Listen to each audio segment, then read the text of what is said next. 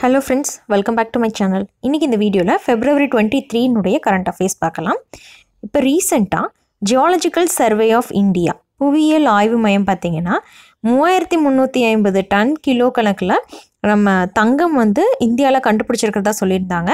சோனபத்ரா district of Uttar Pradesh உத்தரப்பிரதேசில் கண்டுபிடிச்சிருந்தா சொல்லியிருந்தாங்க. ஆனால் அதை இப்போ மறுத்து நூற்றி அறுபது கிலோ தங்கம் தான் இருக்குது அப்படின்னு சொல்லியிருக்காங்க. ஸோ எங்கே அப்படின்னா சோனபத்ரா டிஸ்ட்ரிக்ட் அடுத்தது ஆந்திரா சிஎம் ஜெகன்மோகன் ரெட்டி பார்த்திங்கன்னா ஒரு எஜுகேஷன் ஸ்கீம் வந்து லான்ச் பண்ணியிருக்காங்க. அது பேர் என்ன அப்படின்னா ஜஹன்னா வஸ்தி தேவனா. இது வந்து விஜயநகர மாவட்டத்தில் லான்ச் பண்ணியிருந்தாரு. இதன் கீழ் வந்து ஐடி ஸ்டூடெண்ட்ஸ் இல்லை அப்படின்னா பாலிடெக்னிக் யூஜி பிஜி பண்ணுற ஸ்டூடெண்ட்ஸ்க்கெல்லாம் வந்து ஹாஸ்டல் மிஸ் அதுக்கான பில் செலவுகளை ஏற்றுக்கிறதுக்காக இவங்க கொண்டு வந்திருக்காங்க. இப்போ வந்து ஐடிஐ ஸ்டூடெண்ட்ஸாக இருந்தால் பத்தாயிரம் ரூபாய் கொடுப்பாங்க.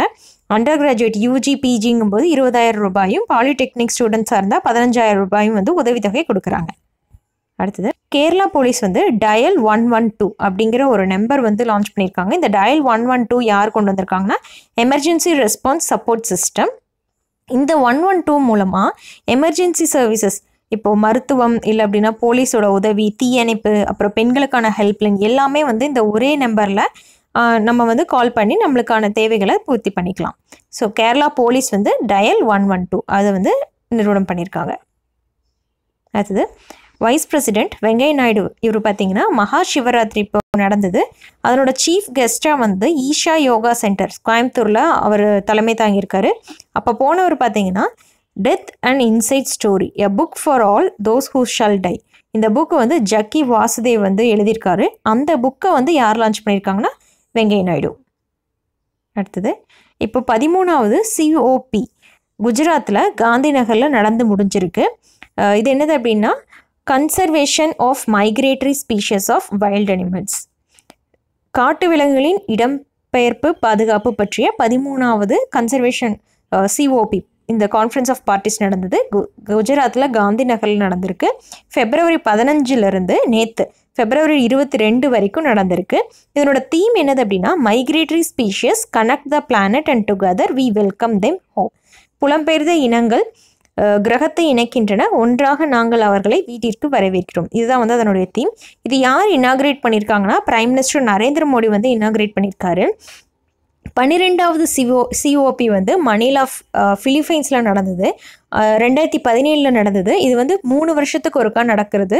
ஸோ ரெண்டாயிரத்தி பதினேழுக்கு அப்புறம் இப்போ ரெண்டாயிரத்தி இருபதில் இந்தியா வந்து பொறுப்பேற்றிருக்கு. ஸோ இந்தியா தான் அடுத்த மூணு வருஷத்துக்கு இந்த சிஓபியினுடைய பிரசிடெண்ட்டாக செயல்படும். ஸோ இதை இனாகிரேட் பண்ணுறது நம்மளோட பிரைம் மினிஸ்டர் நரேந்திர மோடி. அது மட்டும் இல்லாமல் பிரகாஷ் ஜவ்டேகர் விஜய் ரூபானி பாபுல் சுப்ரியோ இவங்கெல்லாமும் இந்த மீட்டிங்கில் கலந்துருக்காங்க. அதுக்கப்புறம் இதிலிருந்து இம்பார்ட்டன்ட் ஹைலைட்ஸ் பார்க்கலாம். இந்த சிஓபியினுடைய லோகோ என்னது அப்படின்னா கோலம். நம்ம சவுத் இந்தியா நம்ம தமிழ்நாட்டில் யூஸ் பண்ணக்கூடிய அந்த கோலம் வீட்டு முன்னாடி போடக்கூடிய கோலம் தான் வந்து இதனோட லோகோவாக இருக்குது ஸோ இந்த கோலம் வந்து Amur falcon humpback whale marine turtles so இந்த திமிங்கிலம் அப்புறம் ஹம்பேக் இதனோட இது எல்லாமே வந்து டிபிக் பண்ணுற மாதிரி சித்தரிக்கிற மாதிரி இந்த கோலம் அமைஞ்சிருக்கு. அதனால் இதுதான் லோகோ அதுக்கப்புறம் மேஸ்கட் சின்னம் என்னது அப்படின்னா கிபி த கிரேட் இந்தியன் பாஸ்டர்ட் இதுதான் வந்து இதனுடைய சின்னம். அதுக்கப்புறம் சிஓபி பதினஞ்சு வந்து சைனாவில் நடக்கிறது. குன்மிங் அப்படிங்கிற இடத்துல அக்டோபர் ரெண்டாயிரத்தி இருபதில் நடக்கிருக்கு. அது மட்டும் இல்லாமல் சிஓபி டுவெண்ட்டி சிக்ஸ் இது எங்கே நடக்கிருக்குன்னா யூகேல கிளாஸ்கவ் அப்படிங்கிற இடத்துல நடக்கிருக்கு. அதுக்கப்புறம் இந்தியா வந்து marine turtle policy and marine stranding management policy India தனது கடல் ஆமை கொள்கை மற்றும் கடல் ஸ்ட்ராண்டிங் மேலாண்மை கொள்கையை வந்து அறிமுகப்படுத்தியிருக்கு. எதுக்காக அப்படின்னா கடலில் பிளாஸ்டிக்ஸ் எல்லாம் வந்து சேர்ந்து கடலை வந்து மாசுபடுத்துது. அதை தடுக்கணுங்கிறதுக்காக இந்தியா இந்த ப்ரோக்ராமை லான்ச் பண்ணியிருக்காங்க. இதில் இந்தியாவும் நார்வேவும் இணைஞ்சு இந்த மெரைன் பிளாஸ்டிக்ஸ் எல்லாமே வந்து ஒழிக்கிறதா சொல்லியிருக்காங்க.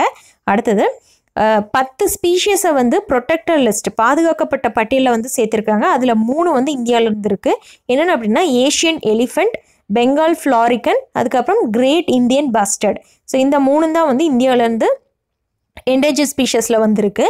அதுக்கப்புறம் இந்த ஏஷியன் எலிஃபெண்ட் வந்து நேஷ்னல் ஹெரிட்டேஜ் அனிமலாக வந்து கவர்மெண்ட் ஆஃப் இந்தியா அறிவிச்சிருக்காங்க.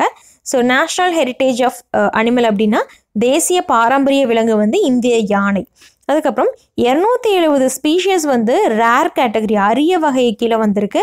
அந்த இரநூத்தி எழுபதில் இருபத்தி ஒரு பர்சன்டேஜ் இந்தியாவினுடைய ஏஃபியாஃபானா அப்படிங்கிற இதில் வருது. ஸோ இருபத்தி ஒரு பர்சன்டேஜ் வந்து நம்மளோட இந்தியாவிலேருந்து வந்திருக்கு.